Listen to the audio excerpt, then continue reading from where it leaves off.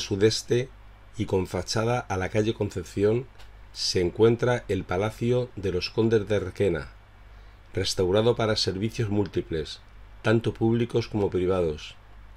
Fue construido a finales del siglo XV por el linaje portocarrero, uno de cuyos títulos es el de conde de Requena, desde el siglo XVII. En el siglo XIX pasó a ser cuartel de milicias provinciales y un colegio de escolapios. Hoy es propiedad del ayuntamiento y en sus dependencias está la sede de la denominación de origen de vino de Toro.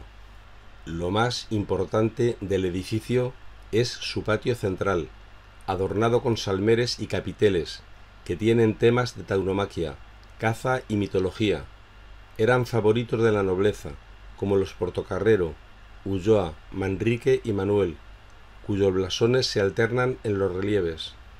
La similitud del patio con el del palacio de Villalonso parece indicar que este fue el modelo en que se inspiró el maestro que diseñó el edificio. En el año 1725 fue confiscado por la Real Hacienda, después de escuchar el dictamen del prestigioso arquitecto don José de Barcia, vecino de Zamora, promueve unas obras de consolidación que no afectaron a la estructura del monumento, sino a los tejados y cubiertas. Las ejecutó el maestro Vicente Redondo, vecino de Tordesillas, reconociéndolas el 7 de noviembre de 1727 Vicente Verde y Francisco Díez. Posteriormente le tocó la desgracia de servir como cuartel de milicias, aunque sólo ocasionalmente, de cuyo destino es lógico suponer que saldría mal parado. En 1868 lo demolió el ayuntamiento para construir en su solar un colegio de primera y segunda enseñanza, dirigido por los escolapios durante 90 años. De aquel desastre escapó solo el patio central pero con mutilaciones y con añadidos que bien poco favor le hacen.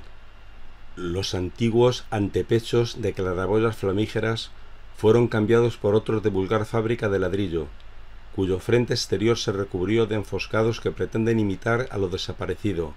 Se cerraron con vidrieras los intercolumnios del patio alto y le añadieron otra planta, con lo que se perdieron las zapatas, carreras y aleros originarios. También destruyeron la escalera, que estaba ubicada donde la actual. No es fácil averiguar el motivo, salvo que estuviera muy estropeada, pues la madera con que la suplantaron repite el esquema de la que se conserva en el Palacio de Mota, e incluso su pasamanos emula las claraboyas flamígeras. Desde este patio central se accede a otro patio estrecho con dos pisos, donde predomina la madera y el cristal, al estilo de los patios castellanos. Los pilares son rematados por un elemento característico de los soportales y plazas castellanos, la zapata.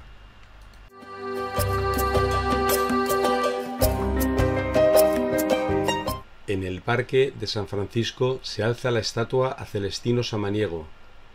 Se encuentra el Teatro La Torre, un templete de música, el edificio de correos y la plaza de toros. Es una plaza ajardinada.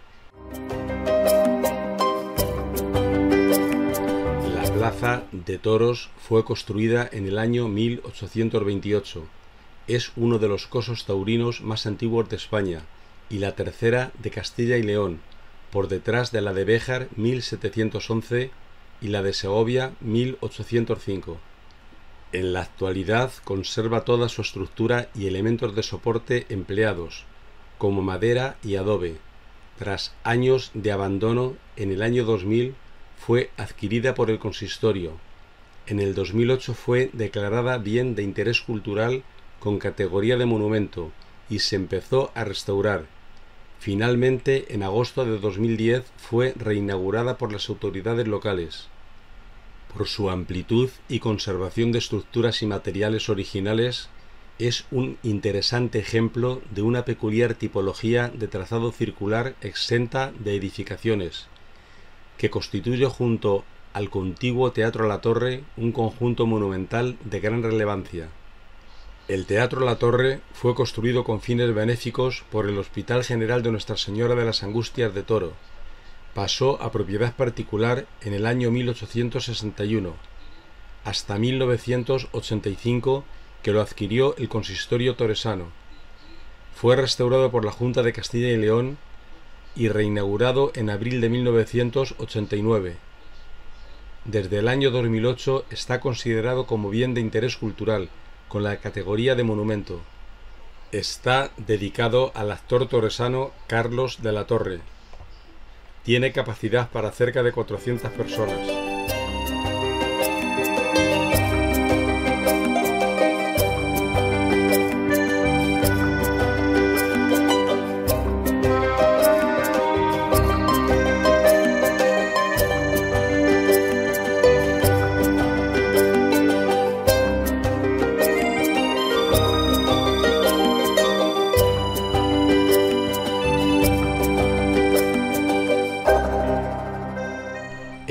Hospital de Santa Cruz, también denominado Hospital del Obispo, fue una institución sanitaria en la ciudad de Toro, fundado en el año 1522 gracias al apoyo del arzobispo Juan Rodríguez de Fonseca.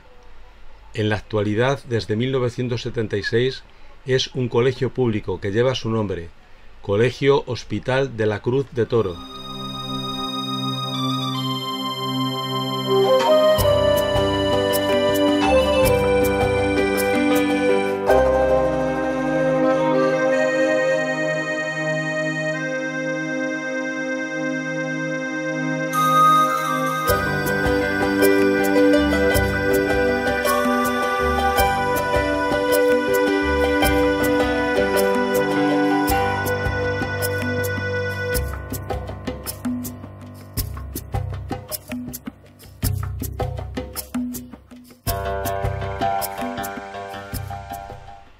Iglesia de Santa María de Roncesvalles y Santa Catalina es del siglo XII. El templo es de ladrillo y piedra. Tiene una espadaña. Ha sufrido modificaciones y un incendio en 1955. Hoy en día es sede de la Cofradía de Jesús y Ánimas de la Campanilla. El 13 de abril de 1957, días antes de la Semana Santa, se produjo el incendio de la iglesia de Santa Catalina de Roncesvalles en Toro, sede de los pasos de la Cofradía de Jesús y Ánimas de la Campanilla. Se quemó totalmente un Cristo de marfil y se salvó el Cristo atado a la columna del siglo XVIII, gracias a encontrarse momentáneamente en el Real Convento de Santa Clara.